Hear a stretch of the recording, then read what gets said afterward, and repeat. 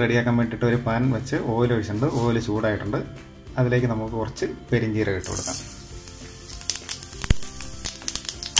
ഈ പെരിഞ്ചീരകം പൊട്ടി വന്നിട്ടുണ്ട്. ഇനി ഒരു രണ്ട് ഏലക്ക ഗ്രാമ്പു പട്ട ഇട്ട് കൊടുക്കാം. അതൊന്ന് ചൂടായിട്ടുണ്ട്. ഇനി ഇതിലേക്ക് കുറച്ച് ഇഞ്ചി വെളുത്തുള്ളി പച്ചമുളക്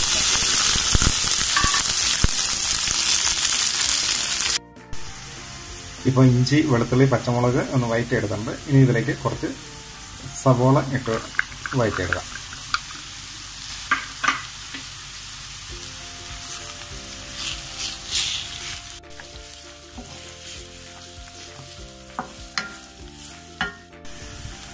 ഇപ്പോൾ നമ്മുടെ സവോള നന്നായിട്ട് വയറ്റി എടുത്തിട്ടുണ്ട്.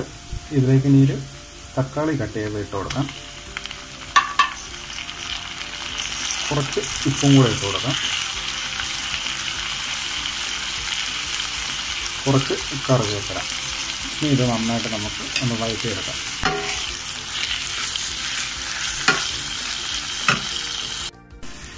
ഇപ്പോൾ തക്കാളിയും സവോളയും എല്ലാം നന്നായിട്ട് ചെയ്തിട്ടുണ്ട് ഇനി ഇതിലേക്ക് കുറച്ച് മഞ്ഞൾപ്പൊടി ഇട്ട് കൊടുക്കാം.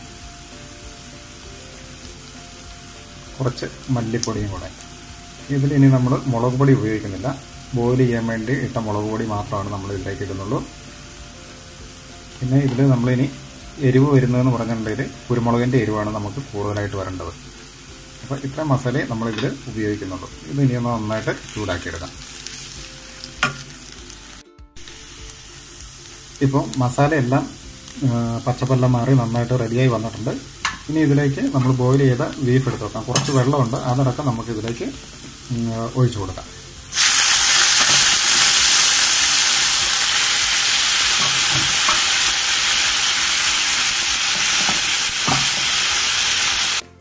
ബീഫെല്ലാം നമ്മൾ ഇതിലേക്ക് മാറ്റിയിട്ടുണ്ട്. അപ്പോൾ ഈ വെള്ളം ഒന്ന് വറ്റി വരുമ്പോൾ നമ്മുടെ റോസ്റ്റ് റെഡിയാവും. ഇനി നമുക്ക് ഇതിലേക്ക് കുറച്ച് ഗരം മസാല ഇട്ട് കൊടുക്കാം. കുറച്ച് കുരുമുളക് പൊടി ഇട്ട് കൊടുക്കാം.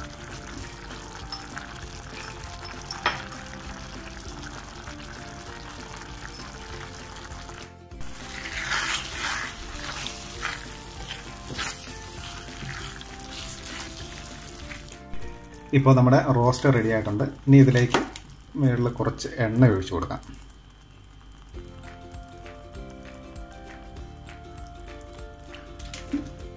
കുറച്ച് പച്ച കറിവേപ്പിലയും കൂടെ ഇട്ട് കൊടുക്കാം.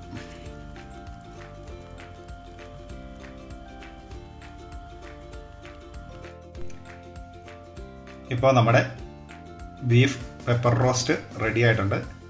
ഇത് എല്ലാവരും ഒന്ന് ട്രൈ ചെയ്ത് നോക്കുക.